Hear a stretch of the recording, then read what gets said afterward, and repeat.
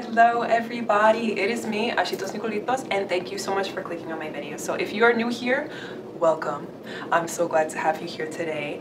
I talk about the med school life, hair stuff, modeling in New York City, things in between. You know how it goes. If you're not new here, welcome back. You know, I'm always so glad to have you here and to have you back. So thank you for coming back. Today, I want to talk to y'all about reviewing your practice MCATs. Um, when you are doing that, awfully fun stage of your pre-med life doing that MCAT prep. Yeah, so I want to go through the mentality that you should have when you are reviewing your exams. Um, some I want to walk you through the template that I use to review all of my exams, and a few tips and tricks along the way. Yeah, so without wasting any more time, let's get started.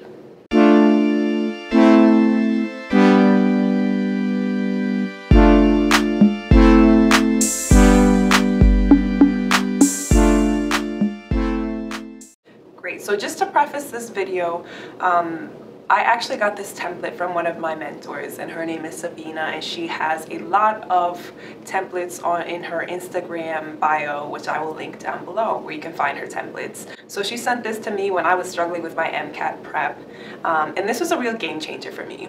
And, and, I'm, I'm shocked that I didn't have something like this before because y'all know I'm a Virgo. I like to be organized. I like templates and Excel sheets. But yeah, this was another level. Like she, she color coded this and like has a lot of automatic functions here.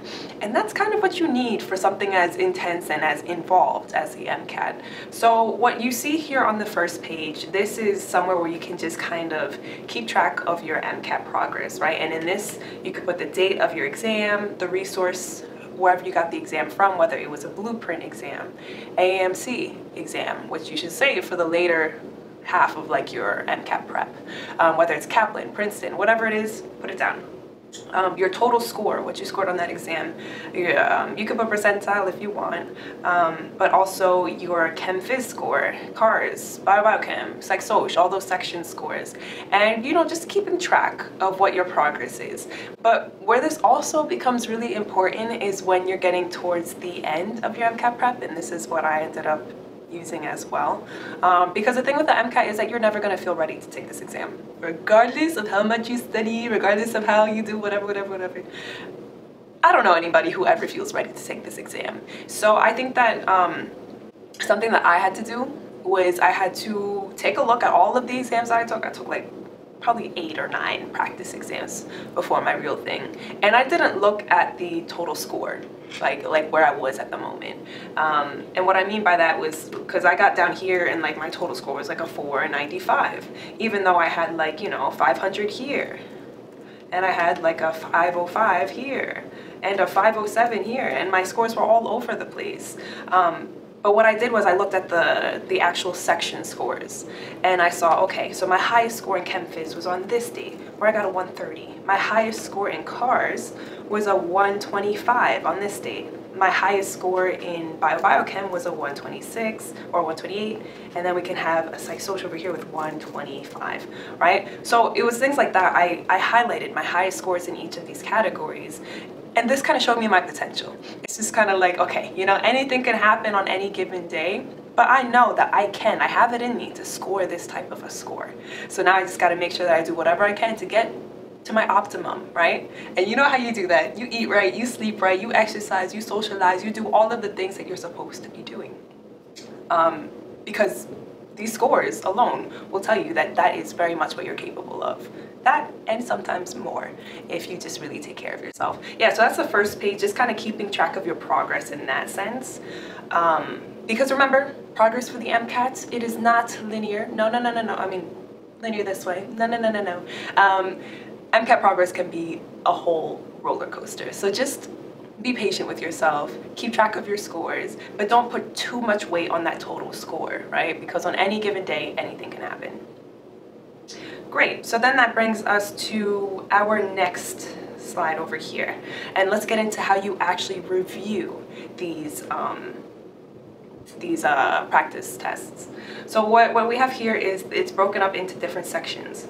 Um, and this was my diagnostic exam. So um, the, this one's set up a little bit weird. So let me actually take you to a full length exam. All right, so it's broken off into the sections, the Chem Phys, CARS, Bio Biochem, Psych Soc. Um, and what you're going to want to do after you take an exam is you want to go through and fill in all of this all of these different categories. We want to know the question, whether you got it right or wrong, your thought process. You think that you won't remember your thought process for every question, but as soon as you see that question again, you go be like, oh, this is what was going through my mind at that point in time. So you go through that, you write that down. Um, then you write the explanation that they give you, right? And why what you should have been thinking, right? Because a huge part of taking the MCAT is not just getting the content down, but learning how to take a test like the MCAT, right? So right now, when you're reviewing, this is, the sooner that you start, the better. Um, this is a time when you should start getting into that mentality, okay, the, they want me to think like this, they want me to think like this, and start getting that down here. Um, yeah, so that's what you do in this explanation section over here. Then you want to say whether you, why you got it right or wrong, because sometimes it's a lucky guess, right? And you're gonna wanna know that for when you're going back to review. Um, because you want it to get to the point that all of your questions, you're get, getting them right because they're easy questions, right? Um, and these content errors, the reason why you miss them as a content area, this will change over time and you'll have less and less of these as you keep going through your content review and practicing through exams. Yeah, so then over here in this category where it says strategy, this is a good place for you to talk about the strategy that you're going to use to make sure you don't get this question wrong again. Um, yeah, so strategy is important whether it's using the process of elimination, common sense, making a note card, studying the content better. You got to really reflect on what you were missing and how you're going to make sure you don't miss that again, right? Um, in terms of the topic to review, um, just what topic the question covers, and whether or not this study section over here is whether or not you need to review it. No, if it's an easy question. Yes, if it's something that, oof, I need to work on um, the Doppler effect and math angles, like the sine, cosine, tangent stuff. So that's what you should be filling in for every single question that you go through on these practice exams right? So what I did was I spent a few hours, maybe even a whole day, just going through this Excel sheet and filling it out, right? I didn't even study, I didn't even go back and study the content that I needed to. I just went through the worksheet piece by piece. And then once I was finished with this worksheet and I could see the patterns of what I'm getting right, what I'm getting wrong, what needs work, what doesn't need work, I, I then looked at the, all of the topics that I needed to go back and review. And then what I did was I lumped all of the content uh, questions that I got wrong on the Doppler effect together. I lumped all of the um, electromagnetic property questions together. And I studied that using YouTube videos, my books, other people, whatever I could find, right? Just going over those content categories. And then again, I'd go back and try to answer all of those questions again. And if I still didn't understand, that meant I had to go back to the content and review again, right? But the whole point when you're going through these exams, you should be reviewing with the mindset of, and this is where the mindset comes in, you're reviewing every question so that if you get a question wrong on, let's say mechanical energy, right, physics stuff, you get that wrong on your exam, okay, you go back to mechanical energy, you review that topic so much that if any question ever comes up on mechanical energy again, bam, you got it, right? So you're studying to make sure that you don't make any mistakes on any type of related question ever again. That's how you should be reviewing these exams. So some people will be like, oh yeah, I reviewed this exam, it took me two days. And I'm just like, two days? I don't know. Um, are, are, I think that if you're really gonna do a whole practice exam, like a full length MCAT practice exam justice, you need at least four to five days right? One day to just go through it and really just knock out all the, the logistics of everything that's going on in your score. Um, and then at least a day for each section to just go through the content categories. And even that's pushing it. It took me personally about a week and if it was a really bad score or, or an exam where I got a lot of wrong questions, it even took me a little bit more than a week to get through comfortably, right? Because you don't want to rush this. Remember, you're reviewing these questions so that you don't get them wrong again, right? Because the worst thing that you can do is get things wrong on a practice exam and then go through and make the same mistakes on your next practice exam. Then what's the point of you doing these practice exams? You see what I'm saying? Yeah, so just be careful with that and make sure you're doing your due diligence and giving this review portion the respect that it deserves. Yeah, so that's how that's how I went through um, my practice exams, and the reason why I chose to lump all of these questions together is because um, It's important to study the content, which is what I do first, but then it's also equally, if not even more important, to see how that content is applied in the context of this MCAT exam, right? Um, because that's what you really need to see. Um, and, and you have to be careful because a lot of times people go through content kind of aimlessly, just kind of like, oh, I'm just going to study this more and more and more and more and more, when that might not be what you need, right? Because sometimes what you need is, is not what you think you need. That might not make too much sense, but let me unpack that a little bit more.